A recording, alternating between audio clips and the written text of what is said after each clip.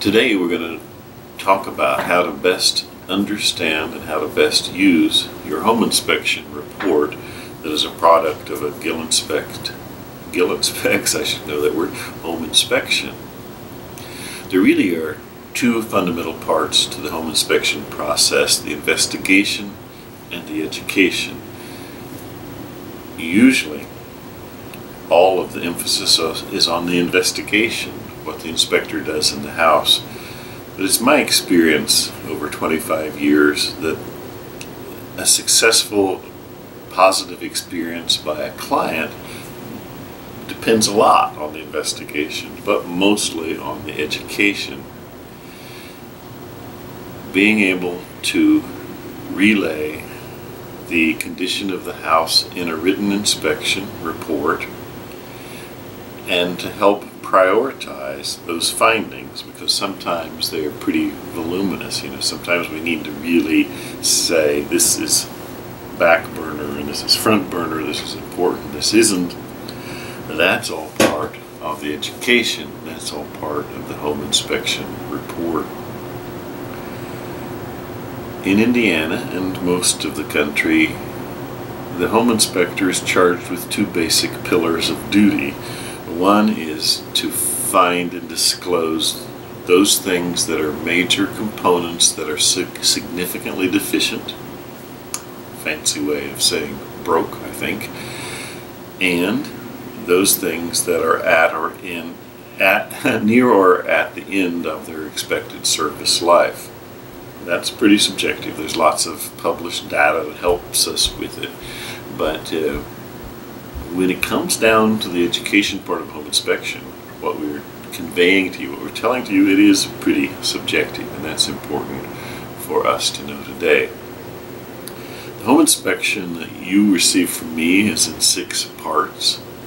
It has a cover, an inspection agreement. It has a, about a 10 page body of details. It's where we record all the data, all the required elements of the home inspection go in those 10 pages. Then it has a comment summary, things that my skilled eye and my experience tell me that you should know, but are not actionable repairs. And there is a repair recommendation summary, which is really what we're doing at the home inspection. It's what you're going to use in your response. That's the heart of the document. And the sixth element is the photo exhibit where we include some pictures of the house to help you see the house through our eyes. We'd go through those six elements quickly but in a way that illustrates how you can best understand what the information is conveying, the education, and how you can best use the home inspection report for your purpose of buying or selling a home. The cover sheet is simple enough. It has a little title information, the address for the house, a picture of the house, and some contact information. The inspection authorization and agreement has several parts. Amongst the first are the uh, legal information citing the statute that controls home inspections in Indiana in the purple some inclusions and exclusions and limitations of the inspection that are an important part of the document. And in the orange, some things are important to you, that this is your inspection, not mine. I don't reuse it, republish it. Confidential document and signature box. Now we're looking at an example, two pages out of 10 that are the details of the home inspection where the detailed information, what we have found in the home inspection, is recorded. Each page is laid out the same with information down the center and a column on the left hand side that tells us where we need to go in the document to learn more. In this case, if it says NC, that's no comment that line item is inspecting just like we expect it to and we're not sending you anywhere else. Here we see the electrical page. We come down that left hand column and we see on line 132 see other summary. We see on line 142, repair recommended. On line 143, minor repair. Line 132, see other summary, is sending us back to a summary in the back of the report that is comments that are not repair comments, they're information that I feel like you need to know, material to the house, but not worthy of being in the repair recommendations. On the other hand, when we get down to line 142, we see a repair is recommended. We go to a repair recommendation summary in the back of the report, find line 142, and it will tell us what we need to know. Likewise, 143 minor repair is in the same repair recommendation summary. Find line 143, and you're going to find three bits of information what's wrong, why it matters, and a recommendation for repair. Now we'll cross-reference the electrical detail page with the comments other than repairs. We'll find one at line 132 where it tells us that there is a comment. We find line 132 on the comments summary and it tells us that the electric panel in the upstairs closet is a sub-panel to the main panel. That's important information. Doesn't fit in the detailed body of the report, so we put it in the comments, something that you should know. Now let's match up the electrical detailed page and find line number 142 to the repair recommendation page and find line 142. So when you are looking through the details and you find in line 142 we say we are recommending a repair, we go to the repair recommendation summary, find line 142, and it's going to tell us that a ground fault device failed to open when faulted. So that needs repaired. It's also bold and underlined, which means it has some safety implication or it's a major item. In this case, it's a safety implication. The repair is quite simple, probably an electrician's service call. Most clients probably read the summary first. In that case, we might look at the summary, find item number 12, which talks about the fireplace damper, and see that the fireplace damper assembly needs repair. We want to go back to the report and find that in the details, we go into the report and find line 168. This is how the report is tied together. The summary of repair recommendations is the heart of the home inspection. It's what you're going to spend your time discussing with your realtor. You're going to take these line items from the, the summary and put them in your response to the inspection in the event that you're asking for repairs. This is a summary that brings all of the repair recommendations together. There's also a tool to help you prioritize what may need to be repaired.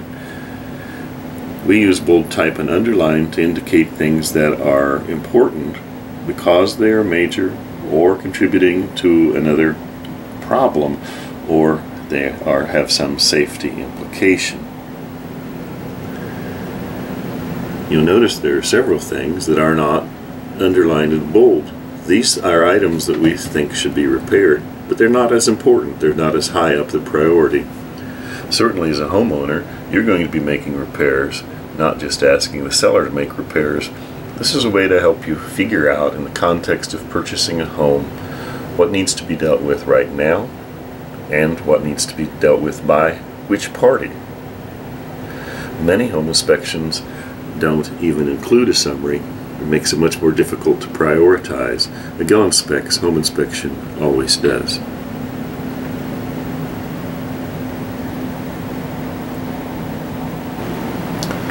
When the two summary sections of the home inspection look like this, four pages, multiple lines in the comment section, several lines, in the repair recommendation section, 15 line items. Does that mean you have a bad house?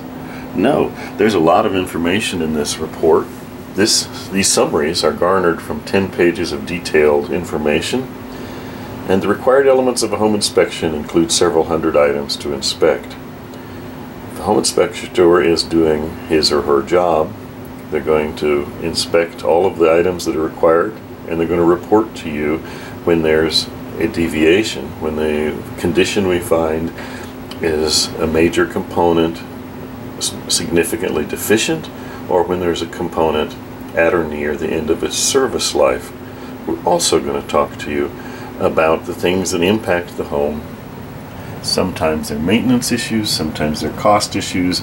They often go in the other comments section. Many very fine homes have four or five pages of summary. Certainly the volume of pages is no reason to panic. So your home inspection comes in six sections. Some of it are pictures, some of it are detailed information, and then most importantly, there's a repair recommendation summary towards the back of the report. That is the summary that references back to the details by line and gives you some prioritization about what you should be considering repairing. It also makes it very easy to respond back in your response to the inspection. In the event that you're asking for repairs, you can simply copy these line items into your response. Then you have the home inspector's language in your response to the inspection. That is one of the most difficult things for a home inspection home inspector to master over the years of writing reports. That is writing a summary item that indicates the right level of concern talks about the repair in such a way that it's understandable to a novice, to a home buyer, and also uh, describes it in such a way that it can be understood by a uh, technician, by somebody fixing the repair, and by a realtor involved in the transaction. In this summary, each item should have three parts. Should tell you what's defective, why it matters to you, and a, a way to fix the problem. Now there's an exception to that. If if the reason it's obvious, the reason it's it's meaningful to you is obvious, we may not say it, we may omit it, so it would be two parts. But uh, that is that is the format, and that's re what's required by state law for home inspection. So what's wrong, why it matters, what to do about it in each one of those line items, so you can purchase your home with confidence. We also include photos in the home inspection. There's a photo on the cover, and then there are an additional eight photos in, at the very end of the report. These photographs are representative of what we're finding in the inspection. They are not an attempt to, to catalog every uh, defective item. They're simply representative, but they are very helpful in understanding the house. If you come to the home inspection presentation when we're about done with our work inspecting the home, we're going to go through all the pictures we take with you on the laptop, let you see the home through our eyes and explain to you why these things impact the home and why we think they are worthy of understanding.